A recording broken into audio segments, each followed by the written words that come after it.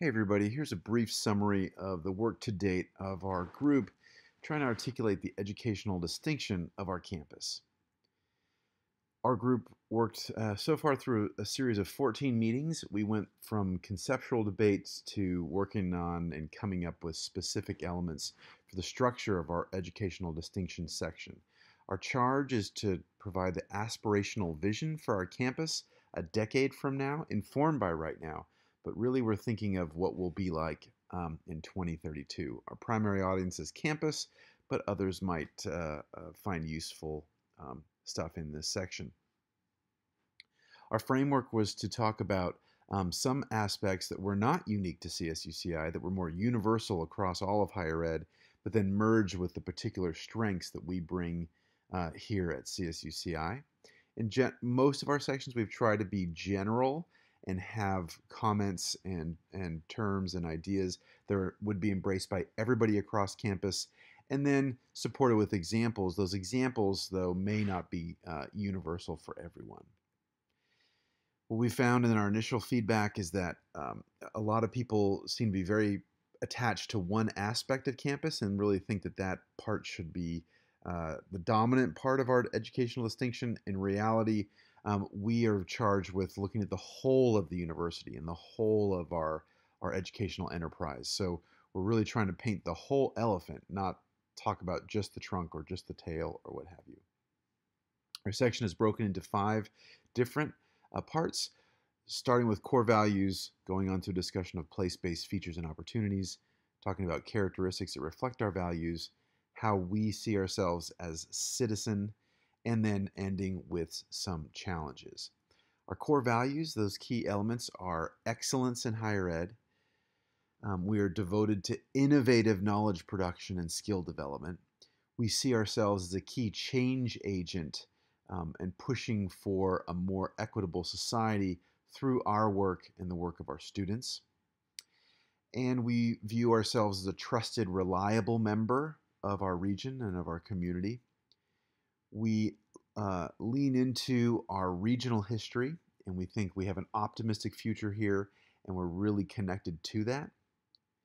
We particularly operate in liminal spaces. So, so whereas some universities really are comfortable in, in area one or two, we are really comfortable in the transition between things geographically, economically, culturally, etc. So we really lean into these, these edge spaces, these transition spaces. We also need to embrace risk and uncertainty as we grow. Um, not not risk for risk's sake, but rather um, we need to take chances. We need to understand that not everything is going to work out, and we need to uh, uh, uh, embrace that and go forward.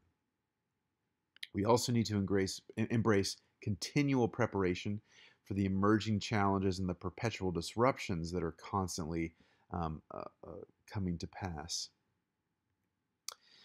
Uh, our place-based features uh, focus on local populations, wild and natural spaces in our area, our, our unique so-called Gold Coast identity of Santa Barbara and Ventura County, um, but yet also our, our, our, strong proximity to Los Angeles.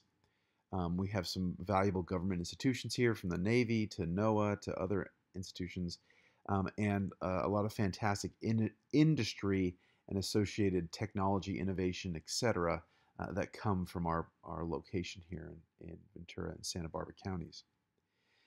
As far as University as Citizen, we really think of this as a way to build our, our nexus of scholarship and strengthen our regional partners, uh, partnerships, excuse me, and we can do that through a number of different ways, but one example is the creation of institutes or centers. In particular, we think um, it makes a lot of sense to craft a coastal studies center and also a sustainable agricultural uh, center.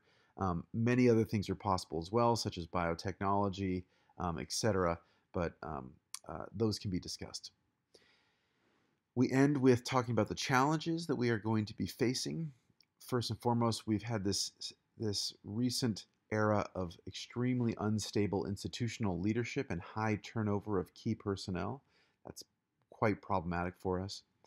Um, we have uh, generally speaking, um, really poor student preparation and also poor faculty preparation to deal with that student population.